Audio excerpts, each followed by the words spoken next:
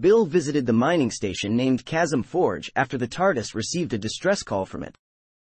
As oxygen was regulated and the TARDIS exterior airshell was being removed, Bill had to wear a smart suit that provided her with a force field which held air in. When entering an airlock which required a solid physical helmet, Bill's malfunctioning suit automatically took her helmet off. This meant Bill was exposed to the vacuum of space. The doctor later gave her his helmet, at the cost of his sight.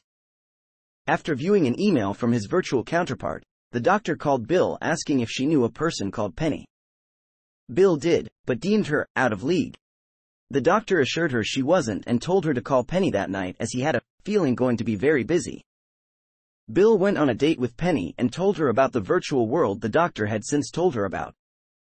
Penny was disbelieving, but the date was going well until armed soldiers and the Secretary General of the UN arrived to collect Bill and take her to see a pyramid that had appeared overnight.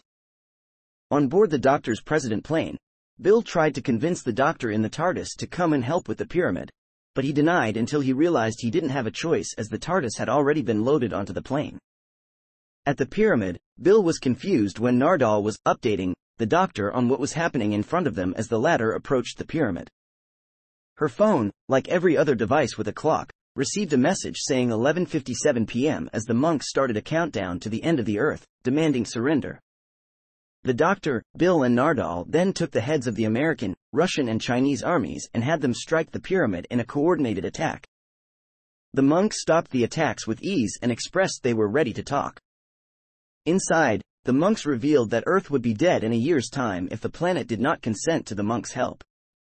The doctor was against consenting to something he didn't understand, though Bill and the others were more willing. However, the monks explained that love was needed in consent burning the Secretary General when he consented out of fear. Back on board the President plane, the army heads agreed not to fight one another, believing that they would be stopping World War III, but this failed to revert the clocks. Bill compared the need for consent as to inviting vampires into a person's home. She also theorized a bacterial possibility, and the doctor had them all Google possible problems. However, Bill and the army heads were considering surrendering Earth to ensure the planet survived, unwilling to put such risk especially when the clocks moved to 11.58 p.m. As the doctor and Nardole deduced the problem as a biological component released in a lab, Bill and the army leaders went to the pyramid as the countdown reached 11.59 p.m. Inside, the army leaders were burned by the monks for consenting out of strategy. Bill went to leave when the doctor managed to solve the biological problem and the countdown began to go backwards. However, when the doctor could not leave due to being blind and unable to spin the combination lock, Bill returned and consented to the monks having authority over the doctor in return for his sight being restored. Before the monks accepted her pure consent out of love, she told the doctor to save her planet. Bill was reunited with Nardole during the monks' reign over Earth. She had been away from Nardole and the doctor for six months since their last adventure.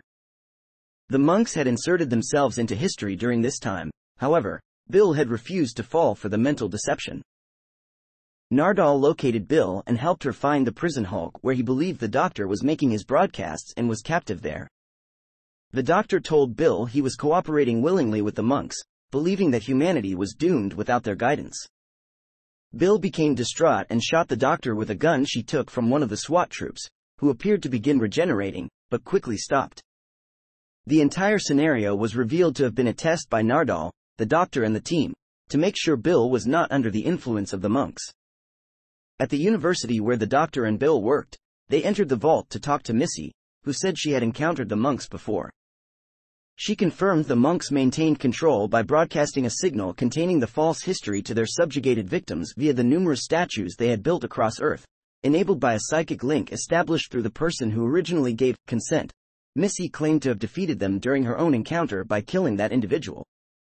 She implied that Bill must die as the one who gave consent on Earth.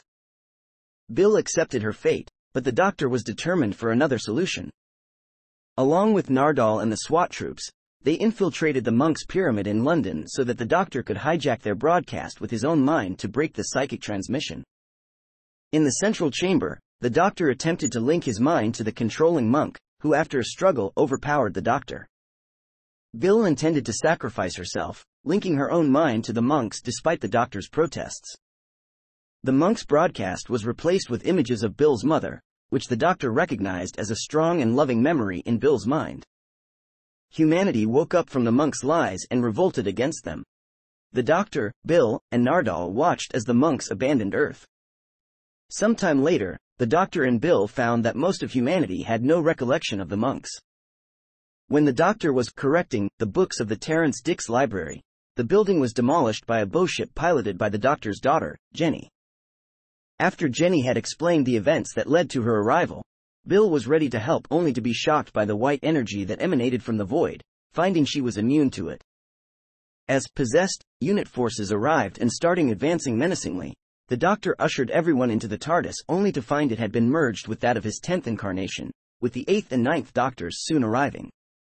The doctors managed to trace and neutralize the malignant energy but doing so left only the twelfth doctor with any memories of what had happened, him happily taking Bill and Nardole away to tell them what had just happened. With Nardole joining the Doctor and Bill on off-world adventures, the trio visited NASA and discovered the phrase, God Save the Queen, on the surface of Mars. The trio arrived on Mars in 1881 and Bill became separated from the Doctor when she fell down a hole, causing Nardole to return to the TARDIS and get stuck there when the TARDIS returned to Earth. The Doctor and Bill reunited and discovered an ice warrior called Friday working with a group of Victorian soldiers. The Doctor and Bill pretended to be from the police. After the Empress was awoken, Bill and the Doctor were locked up by Captain Catchlove, who wanted Mars for himself. Friday rescued them and Bill attempted to prevent an all-out war between the Ice Warriors and the humans. When the crisis was resolved, the TARDIS returned and Bill learned that Missy had been let out of the vault by Nardole to rescue them. Bill, the doctor and Nardole traveled to Edinburgh in 1645, where they encountered a city plagued by ghosts and the actual plague. When the vault needed a new relative dimensional stabilizer, the doctor took Bill and Nardole to Ubermarket where Bill helped a lost pathical child called Tydo find her parents. When the doctor was drawn to the inactive Yedin, Bill encountered the heavenly hosts. As the ship became more dangerous, the doctor instructed Bill to return to the TARDIS and activate Emergency Protocol 13-9 which granted Missy remote control of the TARDIS. As the ship dematerialized, Bill saw a sign that read, Find me, Bill. From the doctor. Rushing to find him, Bill was too late to warn him of a weeping angel behind him. As more and more angels began appearing, Bill volunteered to try and vent the angels into space before she reunited with the doctor, having been sent back in time and arranged for his return. When it was found that the weeping angels were using the heavenly hosts as breeding stock, the doctor evacuated the Yedin, leaving it to be consumed by a red giant star before taking everyone back to Earth. At Goslaj's branch, the doctor and Bill encountered a Dalek harvest ship abducting the local children. Using his childish mindset and some creative rewiring, the doctor disabled the ship, gifting it to the locals. Eventually, Bill discovered a guide on how to be a companion in the TARDIS. Written by Clara Oswald, the guide detailed many of the Doctor's adventures and former traveling partners, with Clara hiding it in the one place she knew a companion would find it. Bill left her own message in the text.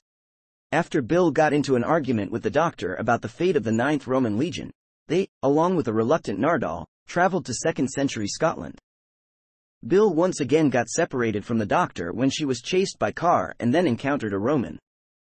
She witnessed the Roman get eaten by a mysterious creature and got rescued by the remaining Romans, who survived the creature's attack by running away.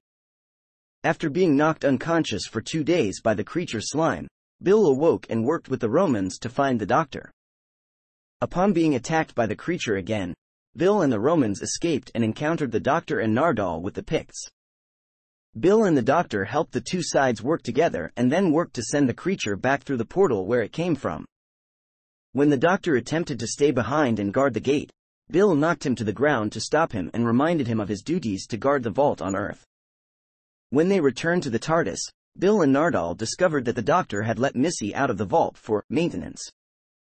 Despite his two companions not trusting her, the doctor maintained the belief that Missy could change. Bill and Nardole, watched over by the doctor, became Missy's companions on a test trip to determine whether she could reform from her evil ways. While surveying the colony ship they were on, Bill was mockingly called the Exposition by Missy. Bill was mortally wounded by a paranoid technician who was the only one left of his crew, due to her being human and supposedly a target for an unknown threat. Unable to save her, the doctor allowed her to be taken by medical figures who had come from the lower levels of the ship as he understood were capable of healing her. He left a message in her subconscious for the moment she awoke, wait for me,